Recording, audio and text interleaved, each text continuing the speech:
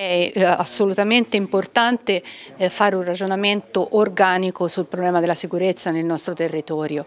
Lo stiamo sollecitando eh, alla prefetto che sappiamo essere sensibile a queste situazioni ma a questo punto ci sembra davvero inevitabile fare un confronto anche con la sua autorevole presenza che possa richiamare le istituzioni perché non abbiamo solo il problema del trasporto pubblico, il più recente le aggressioni in sanità, dentro la sanità nelle, hanno creato un protocollo per cercare di superare queste situazioni, ma è ovvio che dobbiamo parlarne in, in termini generali e cercare di trovare soluzioni anche con l'aiuto delle organizzazioni sindacali. L'ultimo appello in ambito territoriale in merito alla sicurezza sui luoghi di lavoro era stato quello della CISL, Vigili del Fuoco, Polizia Penitenziaria sotto organico, ma anche continue aggressioni in sanità e nei trasporti pubblici.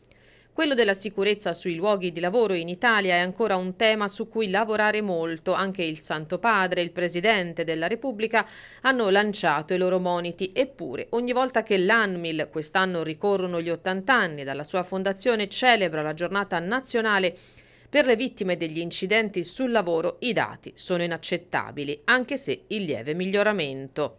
In Toscana gli infortuni denunciati sono calati del 16,4%, ci sono stati però 29 morti nel 2023. Calo anche nell'Aretino del 13,6% delle denunce, ma anche nel nostro territorio nel solo 2023 ci sono stati 3 morti e quasi 2.500 infortuni. I dati invece in crescita esponenziale sono quelli che riguardano le malattie professionali. In Toscana nel 2023 sono aumentate del 22%, mentre nell'Aretino di quasi il 40%, uno dei dati più alti in tutto il territorio toscano.